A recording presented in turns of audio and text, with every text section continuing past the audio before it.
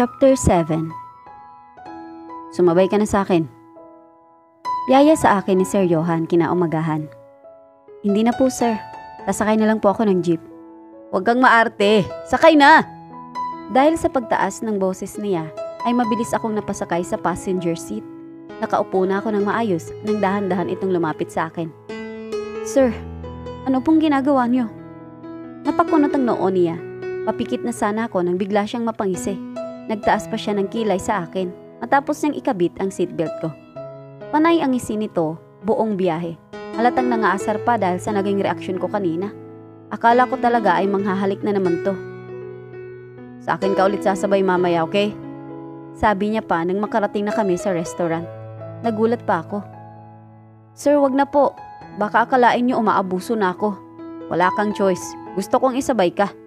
Hindi niyo naman po responsibilidad na isabay ako lagi, sir. Hindi na siya umimik pa. Pero nakita ko ang paghigpit ng hawak niya sa manibela. Bababa na sana ako kung wala na siyang sasabihin. Hindi porkit hindi pa ako nanliligaw ay hindi ko na pwedeng gawin yon. Let's just say, meron lang tayong malanding ugnayan. Sabi niya na ikinakunot ng noo ko. Napangisi naman siya nang ningunin ko siya. "M- malanding ugnayan po? Oo. Kasi naghalikan na tayo, di ba? Pero hindi pa naman tayo. Kasi hindi naman kita liligawan eh. Kasi for sure, ikaw ang maniligaw sa akin. Pagmamayabang pa nito. Magsasalita pa sana ako nang hindi na natuloy nang iharang niya ang hintuturo sa labi ko. Wala kang karapatang magreklamo. Hindi ka maganda. Salamat ka pa nga at pumasa ka sa napakataas na standard ko eh. Nakangisi pa na sabi niya at lalong lumaki ang mga mata ko nang nawala ang hintuturan niya sa labi ko at pumalit ang kanyang malambot na labi. Sandali lamang iyon. Oh, ayan na. Bayad ka na sa pagsabay ko sa'yo. Bukas mo na lang ako ligawan ha. Busy kasi ako mamaya eh. Nakangising sabi niya pa at nauna pang lumabas sa akin. Napailing na lang ako. Hindi ko din talaga maintindihan ang trip ng lalaking to minsan. Christina, nagpapahatid si Sir Johan ng coffee sa office niya. Sabi ng isa sa mga katrabaho ko. Tumango ako at agad na nagdala ng coffee sa kanya. Sir, eto na po yung coffee niyo. Sabi ko dito, halatang busy talaga ito. Madaming dokumento ang nasa harap niya ngayon. Sandali siyang sumulyap sa akin. Kinilabutan pa ako nang umiti siya. Thank you. Tipid na sabi niya, pero ang lakas ng impact sa akin. Tsaka ako lang na-realize na halos hindi ako humihinga habang nasa loob ako ng opisina niya kanina. Napahawak na lang ako sa aking dibdib pagkalabas ko ng office niya. Tin, kalma. Kalma. Pagdating ng lunch break ay tahimik akong kumakain sa may kitchen nang marinig ko ang pag-uusap ng mga katrabaho ko. Huy, napansin niyo ba? Para yatang bumait si Sir Johan ngayon na. Oo nga no. Napansin mo rin pala yun? Medyo kinikilig pa na sagot ng isa. Napahinto ako. Iba ang pakiramdam ko ngayon. Simula nung hinalikan niya ako ay para bang lahat ng gagawin niya ay ibang epekto sa akin. Si Don Fernando kagad ang nakasalubong ko sa paglabas ko ng kitchen. Natawa pa ito. Iha, lolo ang itawag mo sa akin, hindi doon. Ay, sorry po. Naninibago pa po kasi ako eh. It's okay, Iha. Kung saan ka mas komportable. Nagpaalam ito na pupuntahan mo na si Johan nang bigla itong huminto na parang may nakalimutang sabihin sa akin. Oh, Iha. Thank you nga pala. Thank you. Para saan po? Mauna na muna akong umuwi. I'll kiss Thomas for you, okay? Nakangiti lang sabi nito bilang sagot sa tanong ko. Ah, thank you po. Nag-ingat po kayo. Mas dumami ang customer pagsapit ng hapon. Busy din ang hotel dahil sa mga turistang nag-check-in. Table 28, sabi ni Sarah na nasa counter. Kinuha ko ang pagkain at ako nang naghati doon. Walang tao sa table pero may laptop at bag. Siguro ay umalis lang sandali. Natili akong nakatayo. Kailangan kong hintayin ang customer bago ilapag ang order bilang paggalang. Oh, I'm sorry. I just need to take the call. Paliwanag pa ng customer sa table 28. Halos nabato na ako sa aking kinatatayuan nang makita ko siya. Kita ko din ang ugat ng kanyang muka. Tin, Timothy?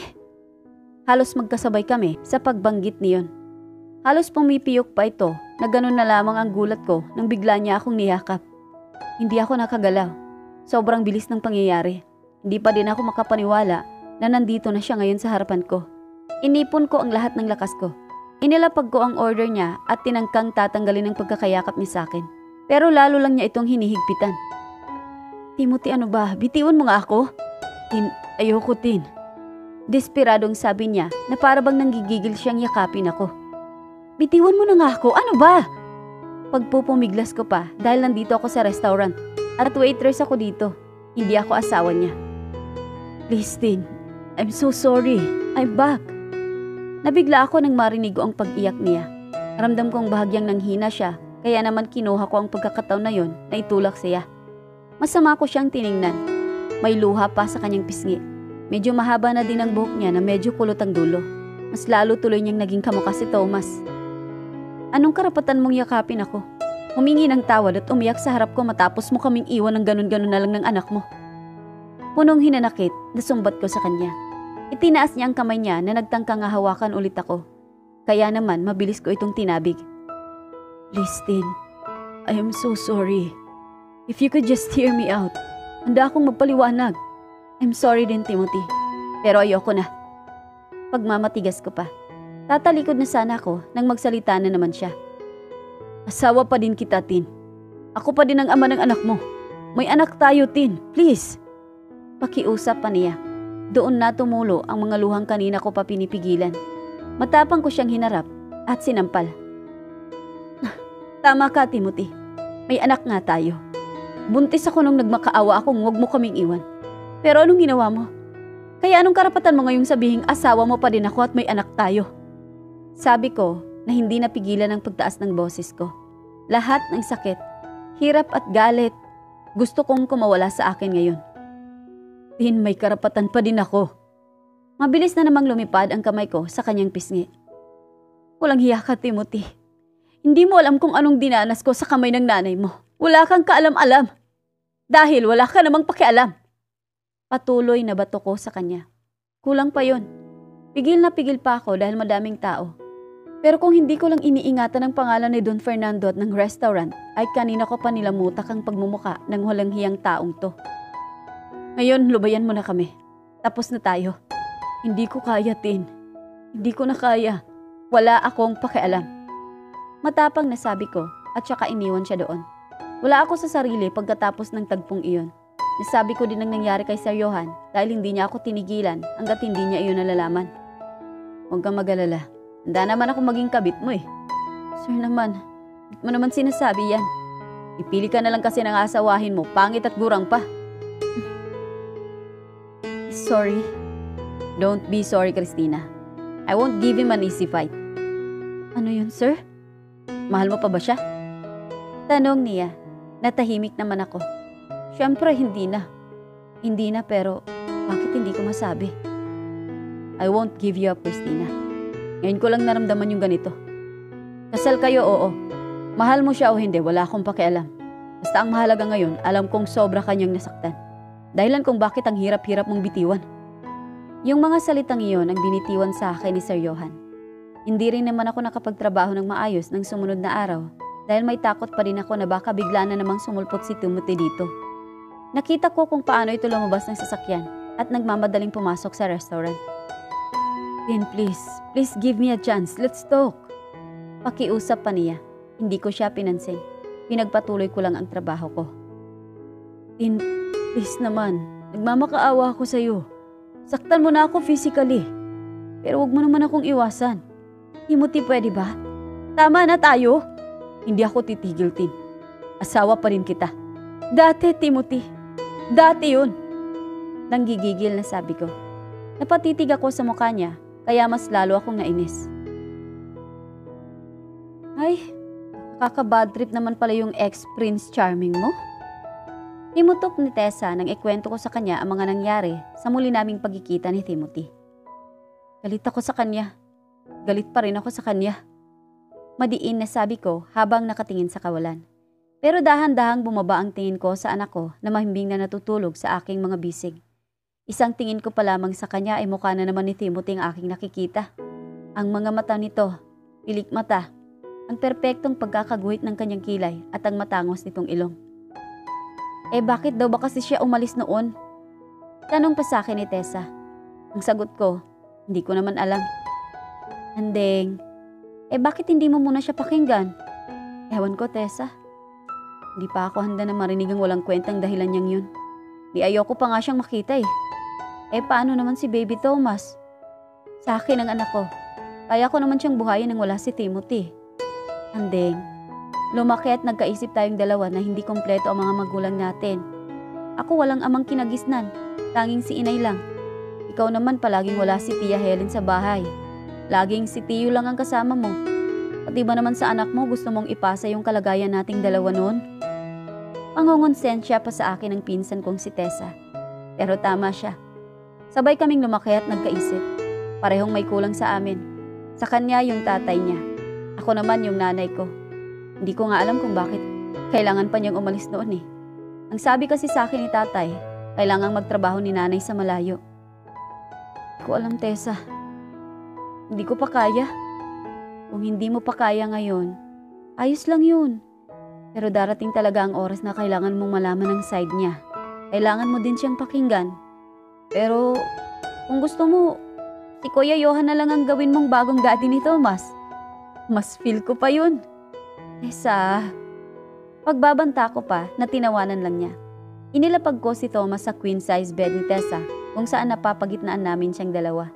Biglang gumalaw ito nang lumundo ang kama dahil sa pagsampa nito. Shh, ingay mo. Huwag kang malikot dyan. Sorry.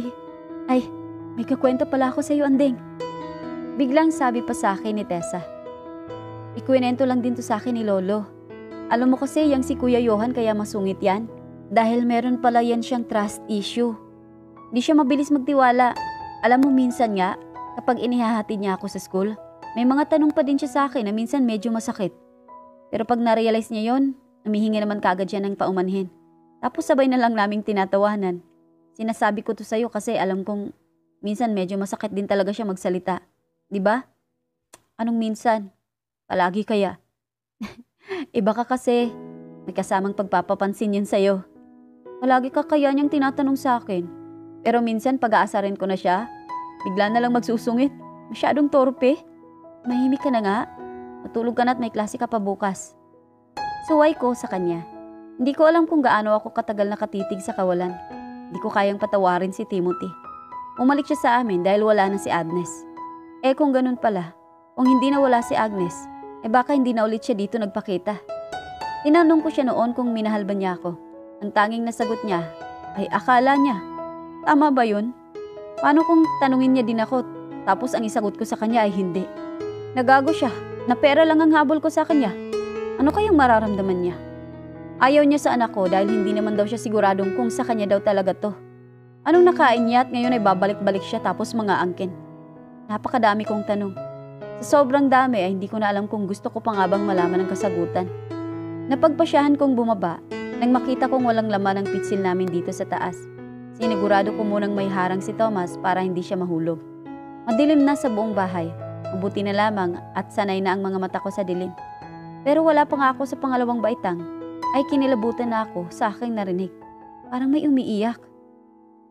Please, don't leave me, Mommy. Umiiyak na sabi nito. Pinakinggan kong mabuti kung saan iyon nanggagaling. Base na rin sa boses ng aking narinig ay lalaki ito. Sasama po ako, please. Patuloy na iyak nito at kung hindi ako nagkakamali, ay kay Sir Johan na kwarto nang gagaling ito. Dumiretso ako sa kwarto niya. Mabuti na lang at hindi nakalakang pinto. Sir, Sir Johan. Tawag ko dito. Wala itong pangitaas. Tumutulo din ang pawis niya kasabay ang pagluha. Sinubukan kong tapikin siya pero wala pa din dahil patuloy lang siya sa pag-iiyak. Akma nga alis na ako para humingi ng tulong nang hawakan nito ang palapulsuan ko. Please, don't leave me. Pagmamakaawa pa niya. Hindi ako nakasagot. Tanging tango na lamang ang aking nagawa. Hinawakan ko ang noon niya. Inaapoy pala ito ng lagnat. Sir, nilalagnat po pala kayo. Sandali lang po ay tikukuha ko kayo ng gamot. Paalam ko dito. Hindi pa sana niya pakakawalan ng kamay ko. Pero masyado siyang mahina para labanan ng lakas ko. Bumalik ako sa aming kwarto para kumuha ng gamot. Kaagad din akong bumalik sa kwarto ni Sir Johan at nagulat na lang ako nang makita kong nakatayo na siya. Akala ko hindi ka nababalik. Namamaos pa na sabi niya. At saka aniyakap ako. Dahil na din sa nakahubad siya ay damang-dama ko ang init ng kanyang katawan. Inakay ko siya pabalik sa kanyang kama at pinahiga. Naglaban na din ako ng bimpo para ilagay sa kanyang noo. Can you stay here please? Please. Sige po. Okay lang po sir. Pagsuko ko. Hindi niya binitiwan ang kamay ko. Hindi ko na malayang nakatulog na ako sa pagbabantay sa kanya. Nagising na lang ako, nakahiga na ako sa kanyang tabi at nakayakap na siya sa akin. Mahimbing pa din ang tulog niya. Mahimbing pa rin ang tulog niya nang maingat akong lumabas ng kanyang silid. Nagulat ako nang maabutan ko si Tessa na hawak-hawak ang anak ko habang nagkukusot ng mga mata. Kaagad nanlaki ang mga mata niya at sumilay ang tilyang ngiti nang makita niya kung saan ako nanggaling. Hoy, dyan ka natulog? Ah, hindi ah. Sinasabi ko na nga ba eh. Manahimik ka nga, baka magising. Hindi na tuloy ang sasabihin ko nang bumukas ang pinto ng kwarto ni Sir Johan. Sabi ko na wag mo kong iiwan, di ba? Pareho kaming nagulat ni Tess sa bungad na iyon ni Sir Johan. Hanggang sa pagkainan ay hindi ako makatingin kay Tessa. Ipinaparinig pa niya kay Sir Johan yung pangasar niya sa akin. Abay kung ganun apo, wag ka nang munang pumasok. Magpahinga ka na lang muna dito. Nag-aalalang sabi sa kanya ni Don Fernando. Tumangulang ito at ipinagpatuloy ang pagkain. May nagbabantay naman kay Thomas sa tuwing nasa trabaho ako. At may pasok naman si Tessa ngayon. Pagkalabas ko ng kwarto ay nagulat ako nang madatnan ko si Sir Johan. Oh sir, may kailangan po ba kayo? I just want to say thank you. Thank you po? Sabi ko thank you. Bingi mo naman. Medyo naiinis na sabi pa niya. Napanguso tuloy ako. Kahit kailan talaga napakamainitin ang ulo nito. Naku, wala po yun sir. Magpahinga na lang po muna kayo. Tipid lang itong tumango at mabilis na pumasok sa kwarto niya. Hindi ko pa rin maintindihan kung ano yung iniiyak niya kagabi. Basta ang alam ko lang, tinatawag niya yung mami niya. Good morning po. Bati ko dito kay Manong Good morning din, Christina. Nga pala ay kanina may naghihintay sa sa loob. Sabi pa nito. Kinutuban na ako. Mukhang alam ko na kung sino to. Ano na naman ba ang kailangan mo? Tin, please mag-usap naman tayo. Timothy naman, umagang umaga. Makinig ka naman muna kasi sa akin. Parang awa mo na oh. May trabaho ako, Timothy. Kung ikaw wala kang magawa sa buhay mo, pwedeng mo muna akong guluhin? Gusto kong bumawi sa inyo ng anak natin. Bakit? Dahil wala na si Agnes? Ganun ba? Wala na siya, oo. Pero sariling kagustuhan, yun na nga eh, di ba? Wala na si Agnes. Bakit kaya hindi ka na lang sumunod sa kanya? Hindi ko siya pinatapos sa sasabihin niya. Dire-diretsong sinabi ko yon na kinagulat ko din. Ang kaninang nanlulumo niyang mga mata ay lalo pang nanlumo. Bigla akong nakaramdam ng awa dahil sa nakikita ko ngayon. Maitim ang ilalim ng kanyang mga mata. O may eye bag siya. Gulo-gulo din ang medyo mahaba niyang buhok. Hindi ko din alam kung saan niya nakuha yung mga pasa at sugat sa mukha niya. Sige, naalis na muna ako. Baka naistorbo na nga kita sa trabaho mo. Anong oras ba yung uuwi mo mamaya? Huwag na, huwag ka na mag-alala pa. Matigas na sabi ko at agad siyang tinalikuran. Naging maayos ang buong araw ko sa trabaho.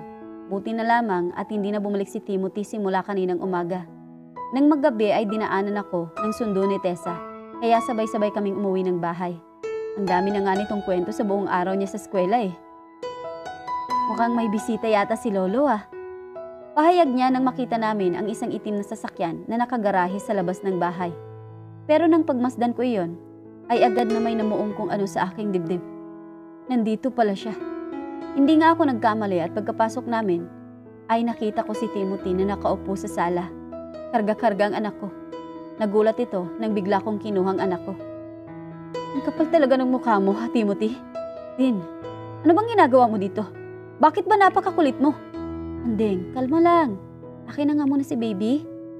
Singit ni Tessa at agad kinuha sa akin si Thomas. Sinundan ng tingin ni Timothy ang aking anak hanggang sa makakyat ito sa hagdan kasama si Tessa. Maluha-luha itong bumaling sa akin at ganun na lamang ang gulat ko nang yumakap ito. Tin, anak ko yun. Anak ko yun, Tin. Bitiwan mo nga ako. Para kang baliw. Pagpupumiglas ko pa dito. Pero hindi ito nakinig at mas lalo lang akong niyakap ng mahigpit. Ang sabing bitiwan mo nga daw siya sabi eh. Bingi ka ba? Nagulat na lamang ako nang biglang may humila sa akin palayo kay Timothy. Sir Johan, bakit? Sino ka ba? Galit na sigaw din ni Timothy dito. Eh bakit ikaw? Sino ka din ba? Asawa niya ako. Matapang naman na sagot ni Timothy. Napangisi na lamang si Sir Johan na bumaling sa akin. Akala ko matagal na nang nasa impyerno tong asawa mo. Kasama yung kabit niya. Nakangisi pa na sabi ni Sir Johan. Napabaling ako kay Timothy. Lalo pang nagalit ito. Huwag mo na siyang idadamay dito. Wala na siya. Sabi pa ni Timothy at sinunod ng suntok si Sir Johan. Natumba si Sir Johan dahil sa suntok na iyon. Pero hindi pa man siya tuloy nakakabawi ay agad na lumipad ang palad ko sa pisngi ni Timothy. Tin, umalis ka na. Umalis ka na! Sigaw ko sa pagmumukha niya. Tinanaw ko siya hanggang sa makalabas na siya ng pinto. Nang tuluyan na siyang makalabas, saka ako nagiiyak. Sabay-sabay din ang pagtulo ng mga luha ko. Si Agnes pa din talaga. Abangan ang susunod na kabanata.